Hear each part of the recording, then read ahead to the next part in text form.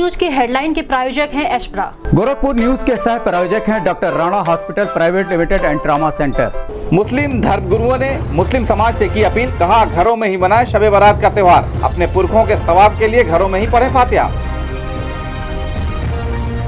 जिलाधिकारी के विजय पांडे ने स्थानीय प्रशासन के बिना अनुमति सूचना के खाद्य सामग्री वितरण करने पर लगाया रोक कहा खाद्य सामग्री वितरण करने एवं वितरण के दौरान सेल्फी, फोटोग्राफी लेना पूर्ण रूप से है प्रतिबंधित। आदेश का उल्लंघन करने वालों पर होगी कार्रवाई।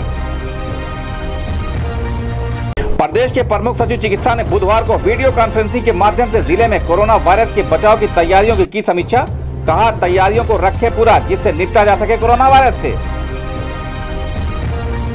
बुधवार को डीआईजी राजेश डी मोडक ने किया रिज़र्व पुलिस लाइन का निरीक्षण।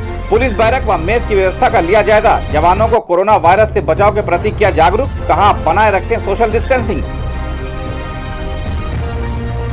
डीएम और एसएसपी ने बेलघाट स्थित प्राथमिक विद्यालय सोमवापुर व विश्वा खुर्द में बनाए गए क्वारंटाइन सेंटर का किया निरीक्षण।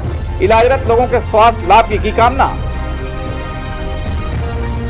महवा सब्ज़ी मंडी में अधिक दाम में सब्ज़ी बेचने की शिकायत पर सिटी मजिस्ट्रेट ने किया व्यापारियों से वार्ता। मंडी निरीक्षक को सौंपी जाँच, कहा शिकायत सही पाए जाने पर होगी कार्रवाई। अवैध कच्ची शराब के खिलाफ चलाए जा रहे अभियान के तहत पुलिस ने किया अमृतानी बगिया में चेकिंग, नहीं मिला कोई कारोबारी और कच्ची शराब। लॉकडाउन में डोर टू डोर सब्ज़ी पहुँचाने के लिए मंडी परिषद द्वारा रवाना की गई सब्ज़ी की 20 गाड़ियाँ, सस्ते दर में लोगों को उपलब्ध होंगी सब्ज़ियाँ। एसएसपी के निर्देश पर महिला थाना प्रभारी अर्चना सिंह द्वारा निरंतर क्षेत्र में गरीब असहाय लोगों की मदद के लिए खाद्यान्न और भोजन पानी किया जा रहा वितरित। लोगों को सामाजिक दूरी बनाकर रहने और साफ़ सफ़ाई रखने के लिए किया जा रहा है जागरूक। बुधवार को एडीएम सिटी राकेश कुमार श्रीवास्तव ने किया महवा सब्ज़ी मंडी का निरीक्षण। व्यापारियों को सोशल डिस्टेंसिंग बनाकर व्यापार करने के दिए निर्देश। कहा ओवर रेटिंग करने वाले दुकानदारों के खिलाफ होगी कार्रवाई।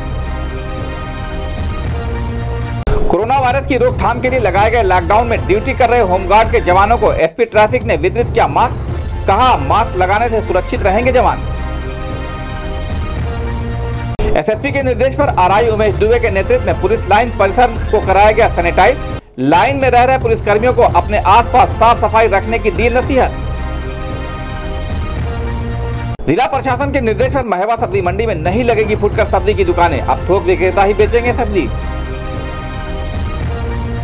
और कोरोना वायरस के संक्रमण के बचाव के लिए लगाए गए लॉकडाउन के दौरान बुधवार को भी महानगर की सड़कों, गलियों पर पसरा रहा सन्नाटा। सीओ कैंट ने कहा, जनता का मिल रहा भरपूर सहयोग।